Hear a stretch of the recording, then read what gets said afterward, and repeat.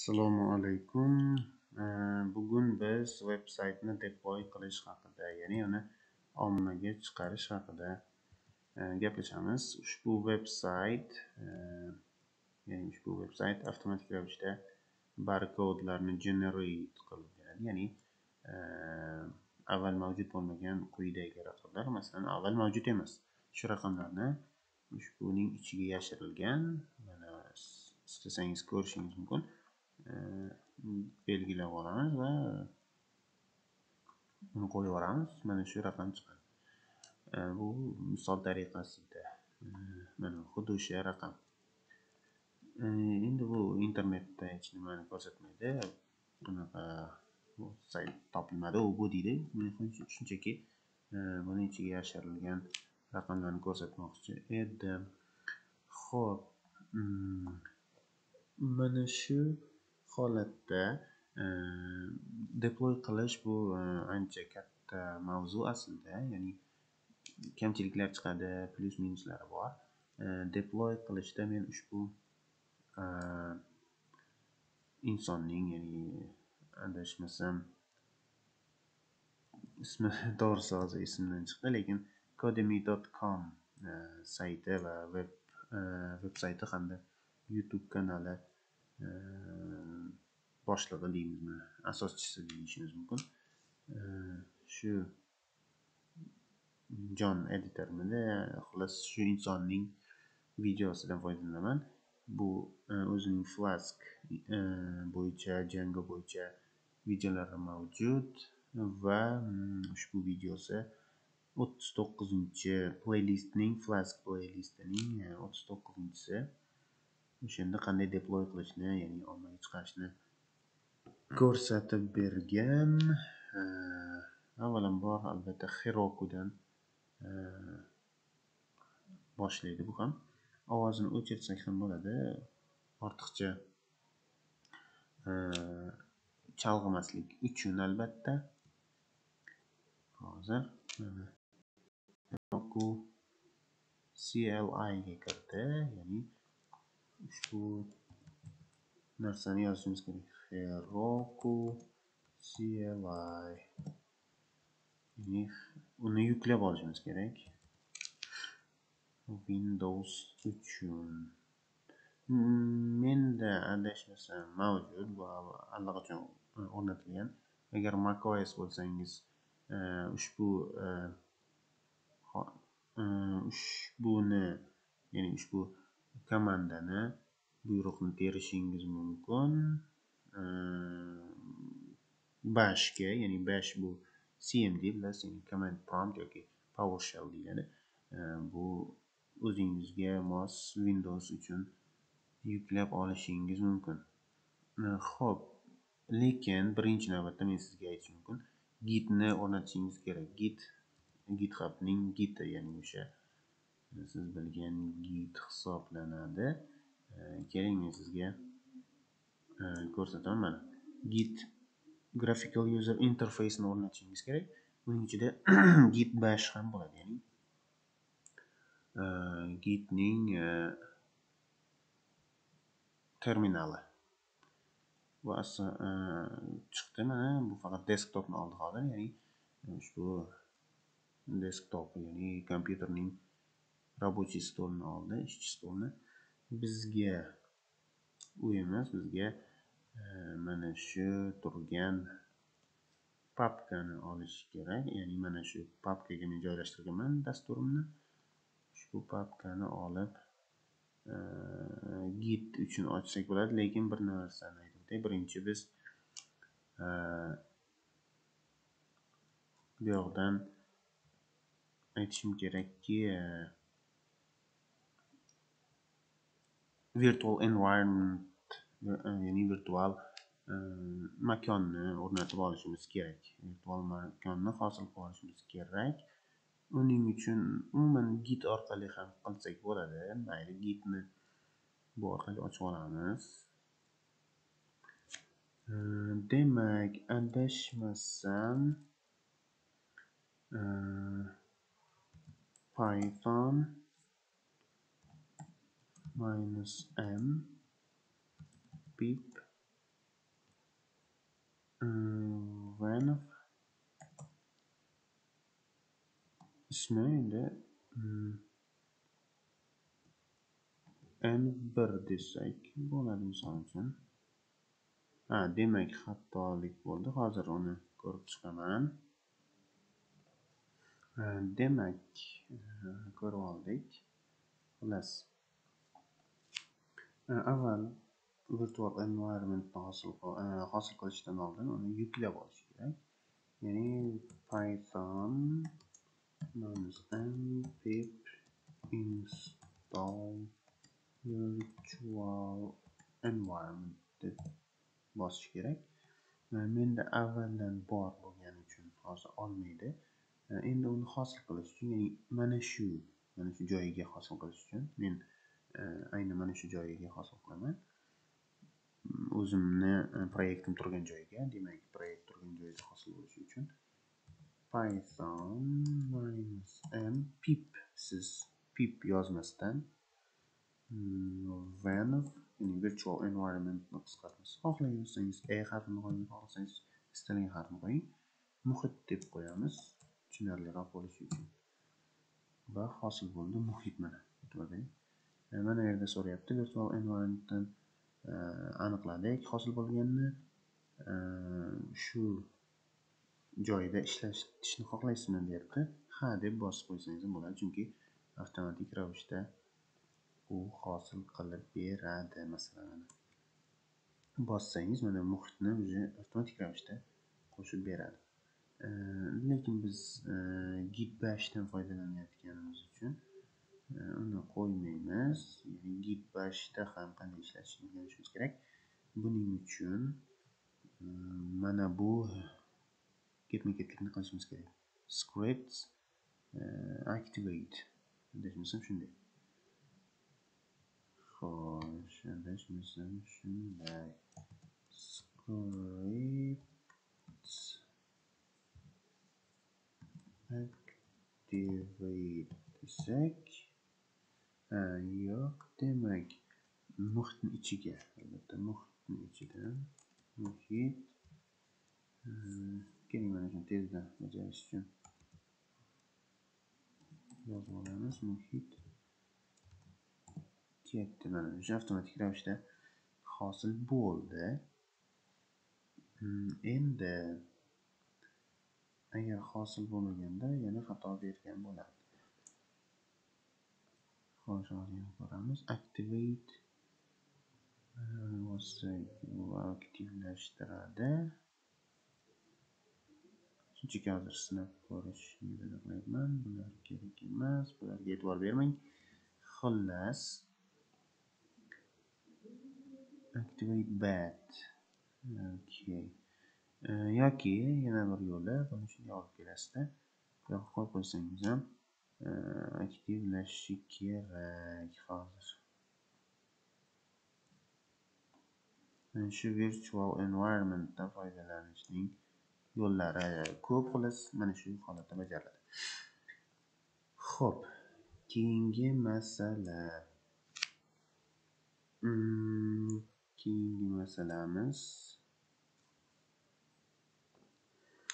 demak biz muhitni ishonchli tarzda o'rnatishimiz uchun ya'ni e, virtual muhitni e, bizning proyektimizga joylashimiz uchun e, quyidagicha terishimiz kerak quyidagi narsani yozishimiz kerak. Source yoki buning o'rniga nuqta qo'ysak ham bo'ladi. Nuqta deb belgilasak ham bo'ladi. Source deb belgilasak ham bo'ladi. Keling nuqta bilan belgilaymiz. E, nuqta e, bizning turgan joyimiz muhitimiz turgan joy muhit slash scripts slash activate. Bosib enterni bossak mana shu muhitimiz уже o'rnatildi. Hozir enterni bossam yana e, muhit o'rnatiladi. Mana avtomatik ravishda o'sha muhit o'zi chiqib turibdi. Toki x qilib chiqib ketmagunimizcha muhit turaveradi. Endi e, keyingi masalamiz bizda e, windowsga o'rnatilgan bo'lishi kerak.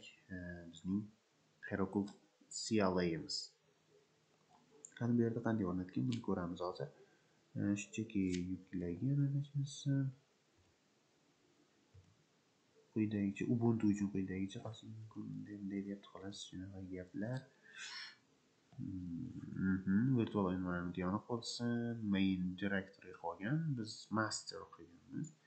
Main qilsak ham bo'ladi. Mana yerda heroku v qani versionni ko'ryapti agar o'rnatilgan bo'lsa versiyasini ko'rib bemalol o'rganib olishimiz mumkin buni keling chiroyliroq ko'rinishga olib kelamiz versiyasini ko'rdi biz ham versiyasini ko'rib olishimiz mumkin chiroyliroq ko'rinishga olib kelaman iloji boricha heroku minus v qilamiz bizda bor ekan. Hmm. Yetti yuz ellik uch. Ho'p bu yetti ellik to'rt versiya ekan. Yetti oltmishgacha versiyasi bor. Buni unchalik ahamiyati yo'q hozircha. Uni o'zgartirib olishimiz mumkin. Node versiyasi v o'n ikki yigirma bir ekan. Ho'p bu proyektini endi o'rnatmoqchi bo'lyapti. Sal tezlashtiraman chunki vaqtdan yutishimiz kerak hozir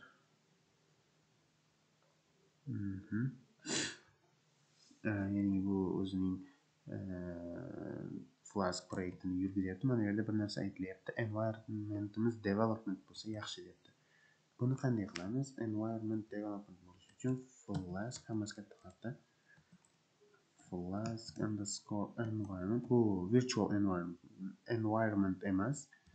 Bu flaskning environmenti flaskning o'zidagi o'zi productionda turibdi bu hozir mana men bu ishni qilishdan oldin sizga ko'rsataman hozir python. Bu bar adashmasam hozir bu bar bo'lishi kerak muhitni yopamiz ha bar dot py qilamiz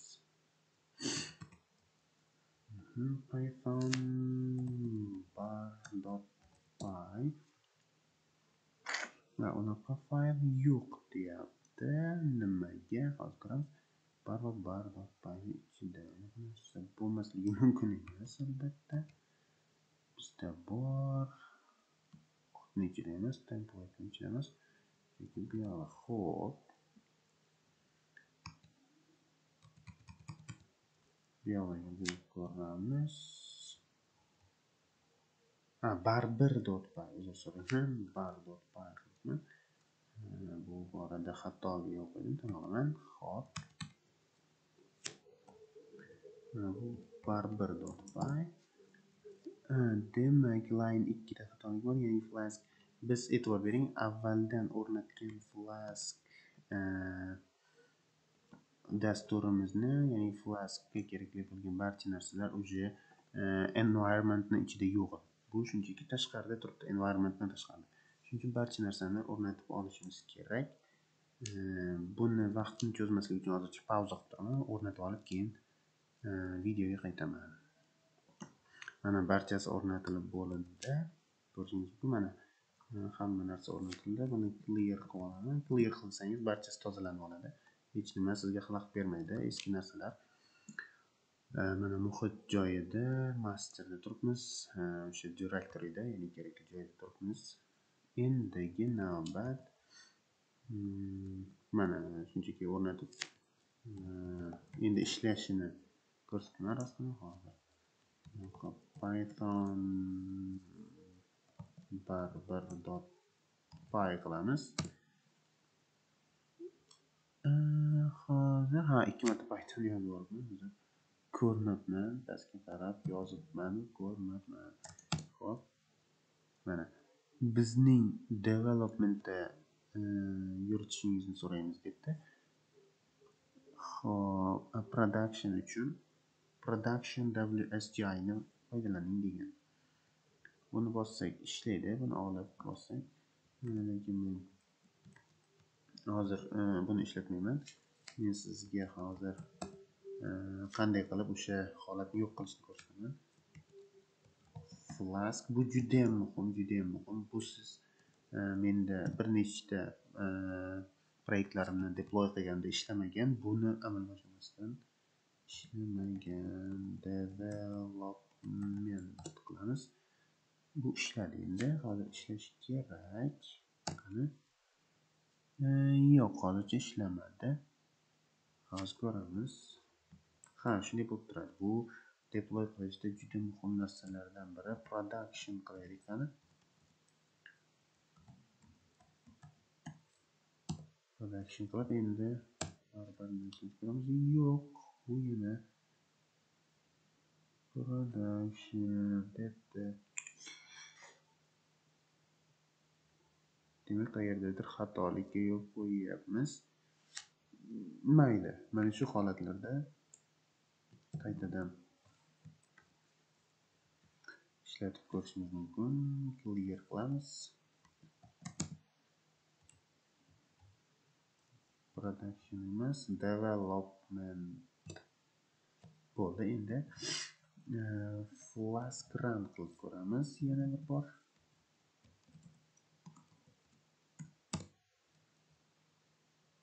Mm-hmm.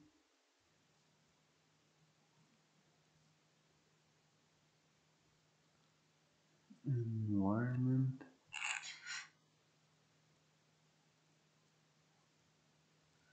Bu flask run ishlashi uchun biz WSGI'ni sozlashimiz kerak ya'ni flask appni sozlashimiz kerak okey mayli bu yoqda bu dasturni ichida qo'yiladigan narsa bu keyingi masala tan olaman flask bo'yicha professional zo'r emasman.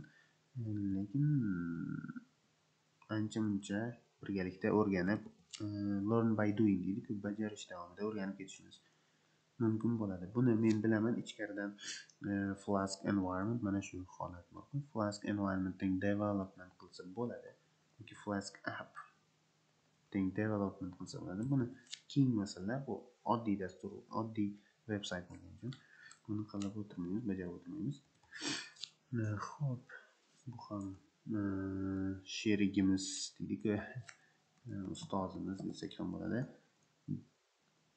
jon editor. Adashmasam jon editor emas xullas hozircha ismi yodimga kelmayapti esimga tushmayapti endi unicornni install qilamiz python. Minus n pip install unicorn. Bu shunaqa narsa. Ichida e, herokunga oid narsa unicorn. Unicornni e, avvalda bor ekan bizda mana allaqachon bor deyapti. Yaxshi endi e, biz quyidagi narsani amalga oshiramiz. Unicorn o'rnatilgandan so'ng hozir bizga ko'rsatib beradi. Men ketma ketlikni yuz foiz bilmayman lekin? Buni ko'rsam birdaniga tushunib ketaveraman. Ha say e, psychopic 2 deyiladi. O'sha narsani o'rnatamiz. E, ya'ni mana shu narsa. Hozir hozir ko'rsataman. Psychopic 2 bunda avvaldan bor ekan. Ho'p python.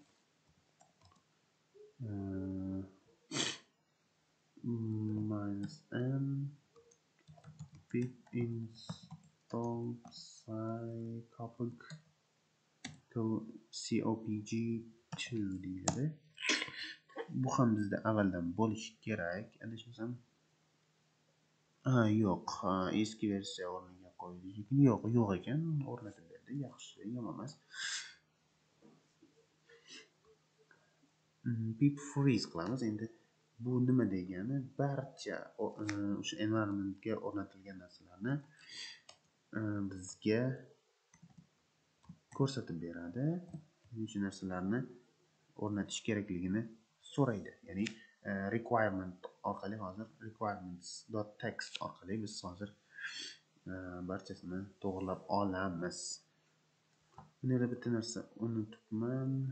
Bizga sql alchemy qo'yilmagan bu yerga e, sql alchemyni ham o'rnatib olishim kerak edi mana shu yerda shu esimga tushganda o'rnatib olay python m pip install sql alchemy deyiladi bu SQL Alchemy nima? Bu database. Men bu e, bu dasturimda databasedan foydalanmadim, shuning uchun bemalol ishlab o'tiribman. Ya'ni SQL alchemyni o'rnatmasdan. SQL Alchemy yana ko'p narsaga kerak. Login, logoutlar uchun. Buni ham keyingi darslarda ko'rib o'tamiz, xudo xohlasa. Pip freeze requirements katta belgisidan keyin requirements.txt qo'yiladi. Hozir shoshmay turing.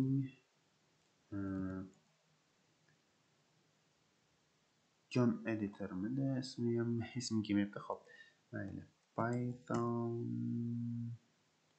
ha yo'q, shunchaki pip freeze o'sha freeze qilgan narsalarimizni hozir ko'raylik o'sha SQL Alchemy ham o'rnatildimi? ho'p SQL Alchemy mana o'rnatildi. Bir ham o'rnatilgan.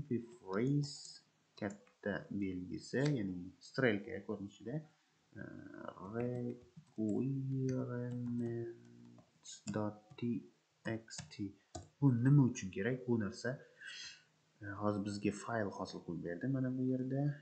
E, bu fayl mana requirements.txt buni ichida barcha nima o'rnatish kerak bo'lsa barchasi kelib chiqadi. Ya'niki buni nima deb tushunishimiz mumkin? Ya'ni ma'nosi biz dasturni e, webga yuklayotganimizda o'sha deploy qilayotganimizda avtomatik ravishda mana shularni ham o'rnatadi. E, agar buni muhitdan tashqarida qilganimizda ya'ni muhitni o'rnatmaganimizda mana bu yerdagi muhitimizni o'rnatmaganimizda e, budan tashqaridagi boyagi masalan men pythonni o'rnatganman jangoni o'rnatganman yana boshqa python uchun ya'ni flask uchun kerakli bo'lmagan mana shu proyektim uchun kerak bo'lmagan barcha narsani ham o'rnatadi va bu joy oladi va dastur noto'g'ri ishlashiga sabab bo'lishi mumkin. Shuning uchun shunaqa qilindi va avtomatik ravishda shunday bo'ladi. Bu ham hozir ko'rsatadi. Mana bu yerda ko'rsatyapti. Ho'p endigi navbat e, echo web ha tushunarli. Unicornni ichiga mana shu yozuvni yuboryapti. Apting app debdi. Biz quyidagicha qilib olamiz. Echo web biz ham xuddi shunday qilamiz faqat hozir aytaman. Gunicorn app ikki nuqta app demaymiz. Baribir deymiz. Chunki bizning asosiy faylimiz bu baribir hisoblanadi.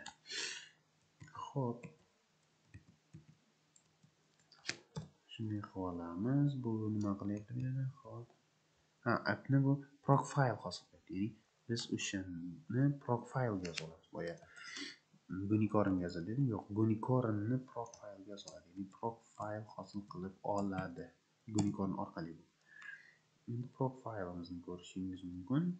Mana u e, bu yoqda chiroyli ko'rinishda bo'ladi. Judayam yoqtiraman. Proc ko'rinishini. K harfi va gap yo'q.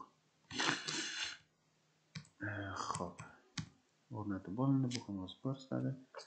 Mana profile deb уже ko'rsatyapti. Mana men ham bemalol e, ko'rsatishim mumkin.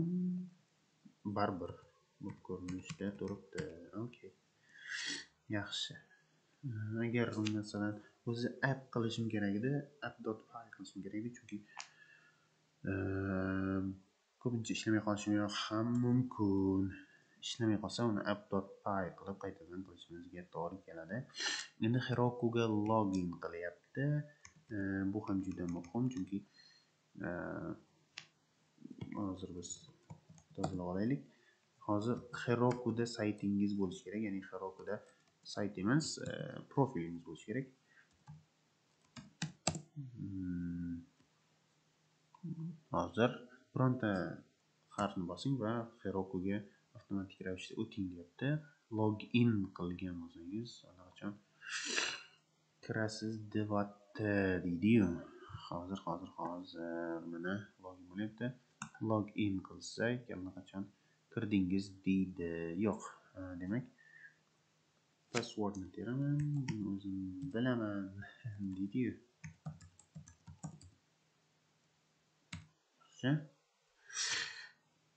mana bu yerda allaqachon login qildingiz va quyidagicha quyidagicha qanday nom bilan ushbu nom bilan judayam yaxshi keyingi masalamiz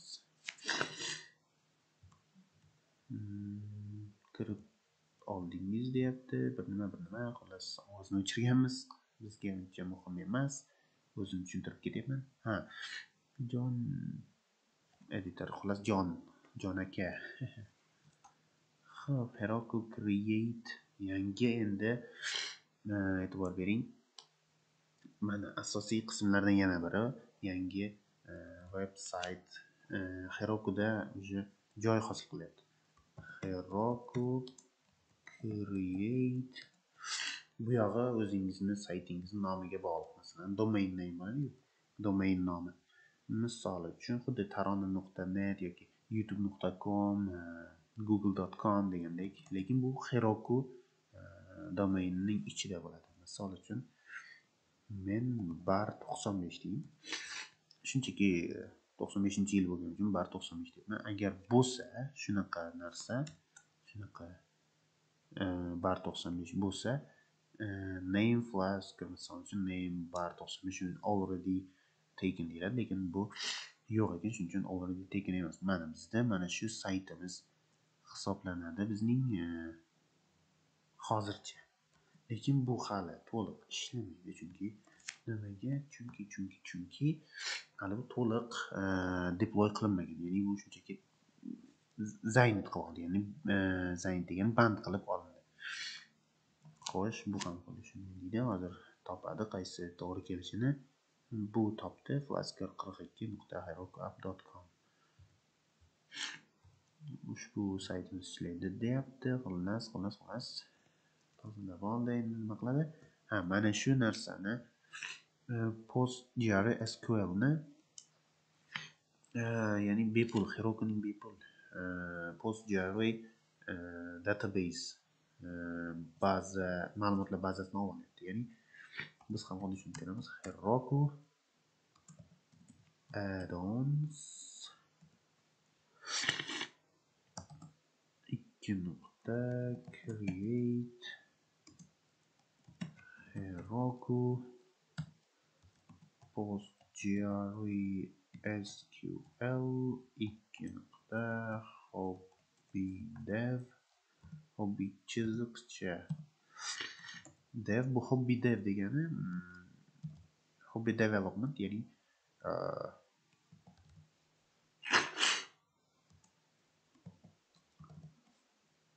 ya'niki bepul versiya degani hozir bar to'qson besh mana shu oxiridagi mana e'tibor bering upname degani bar to'qson besh ya'ni o'zingizning applicationingizning nomi degani sal balandroq qilsak bo'ladiyu to'g'rimi?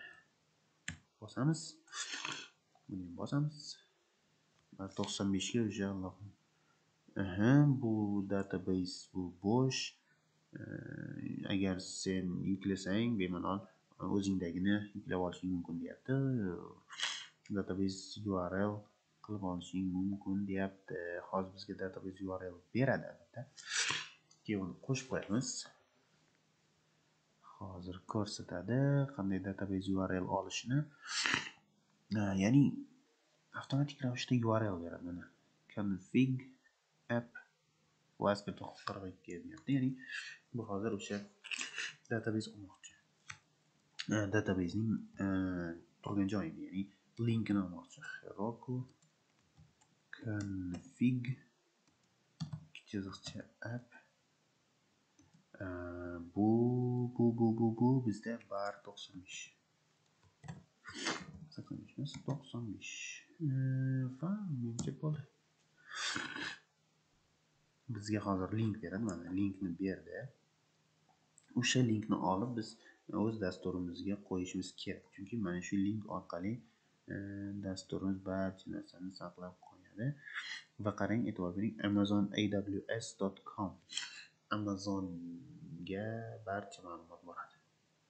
Tushunyapsizmi database yaratish qanchalar muhimligini shu yerda bilib olishingiz mumkin. Ya'ni database yaratgan holda biz e, birovlarning ma'lumotiga ega bo'lishimiz mumkin bo'ladi. Ha hozir bu databaseni qanday hosil qilishini ko'rsatadi. Bunda avvaldan bor mana config sql alchemy database url degan mana shuning o'rniga boshqasini qo'yib biz ham xuddi shunday qilamiz o'z saytimizda .config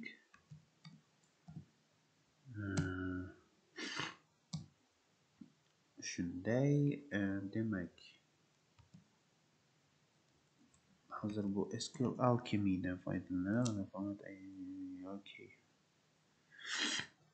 keyin qilamiz bu ishni mana shuni ham o'rnatib olaylik autopip 8 ya'ni autopip 8 avtomatik ravishda sizga chiroyli qilib beradi bu уже allaqachon saqlanadi bizning requirementimizga adashmasam bo'lmasa yozib qo'yishsak ham bo'ladi keyin ko'rsataman xullas Uh-huh. ha sql alchemy. Uh, database uri yozib yuboramiz bu kerak emas hozircha katta harfda barchasi sql alchemy. Mana nima uchun kerak sql alchemy. Database underscore uri barobar qo'shtirnoq ochamiz mana bizga berilgan e, qiymat bo'yicha oldik barchasini ya'ni bizga berilgan e, narsa bo'yicha ya'ni e, link bo'yicha barchasini to'g'irlab qo'ydik. Endigi navbat barchasini bir biriga ulashdi. Qoldi. Buni bu yerga qaytaramiz. Bu ya'ni bu yoqda bir nimani tushuntiryapti sizga ham tushuntirib ketay. About author degan narsani hosil qilgan va database PostgreSQL besh 500 xarakter qancha xarakterni olish e, olmaydi ya'ni tekstda e, ya'ni tekst bo'limida u narsani olmaydi. Ya'ni u avtomatik ravishda e, o'zi hosil qiladi. Endi barchasini gitga qo'yib yuboramiz. Buni git nuqta git add nuqta qilsak ham bo'ladi lekin sizga oson uslubi quyidagicha ko'rsataman gitga commit qilasiz masalan bironta narsa yozasiz deploying deb yozib qo'yamiz misol uchun biz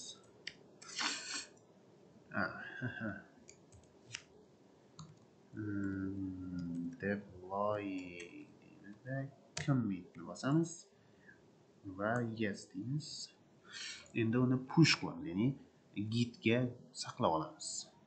Biroz vaqt ketadi chunki ko'p judayam ko'p ma'lumotni o'rnatdik. Judayam ko'p ma'lumot o'rnatildi.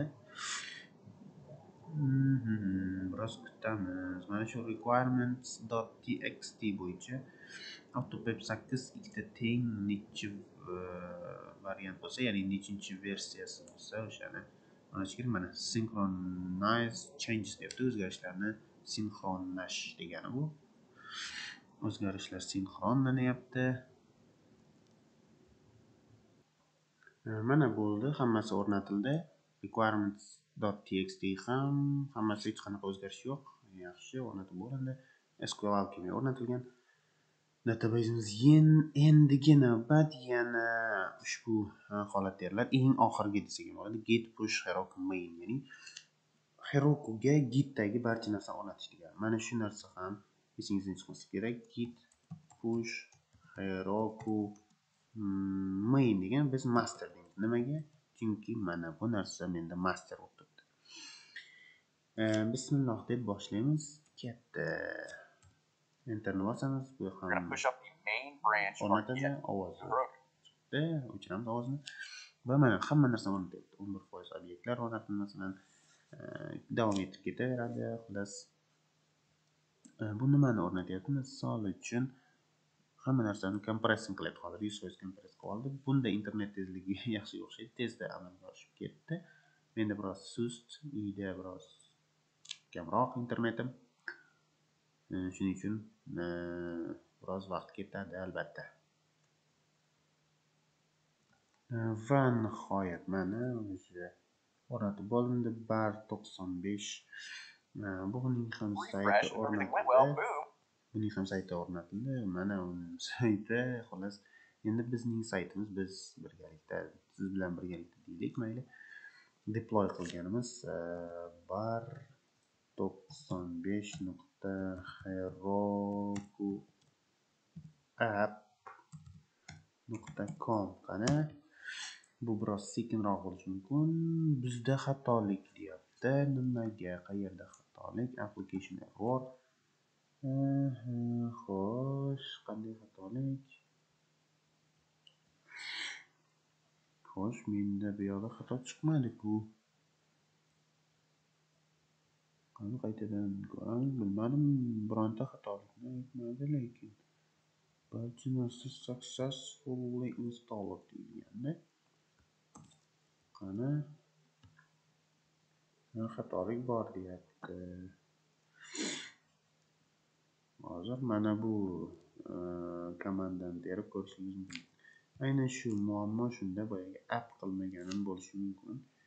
E, app bo'lganida balki yaxshi bo'lar edi. Xo'p.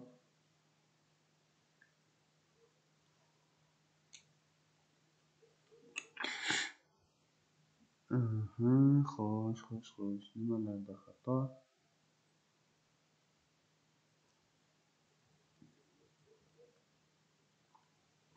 Xullas e, demak xatolik qayerdadir ketgan? Menimcha keyingi darslarda keyingi e, ko'rsatuvlarda balki keyingi chiqishlarda videolarda sizga qanday qilib to'g'riroq qilib xullas ko'rsatib beraman. Lekin asosiy mohiyatni tushundingiz degan umiddaman. Bu saytimiz ishlamadi lekin bitta saytim ishlagan ya'ni ishlagan saytlardan biri deyishim. bunda ham xatolik bo'lyapti. Faqat bunda boshqacha xatolik mana bu medaba bu proyektim. Menimcha bu keyinchalik ishlashi kerak. Ya'ni bunday xatolar boshqacha ma'noda. Ya'ni sayt ishlayapti bemalol kirish mumkin lekin hmm, o'zimiz o'ylaganchalik emas. O'zim xohlaganchalik ishlamayapti. Hmm, buni ham qaytadan deploy qilib ko'raman bu keyingi masala. Ya'ni muammo bugungi saytimiz ishlayotgan ishlamayotganida emas demoqchiman. Hozir mana bunga mana bar to'qson besh nuqta herokup nuqta com sayti. Demak e, buguncha shu e, keyingi ko'rsatuvlarda iloji boricha e, sizga bu muammoni yechimi sifatida ko'rsatish mumkin balki xullas mohiyat tushuntirilgan bo'lsa mohiyat siz tomonidan mm, anglangan bo'lsa muhimi shunda. Xayr salomat bo'ling keyingi videolarda ko'rishguncha.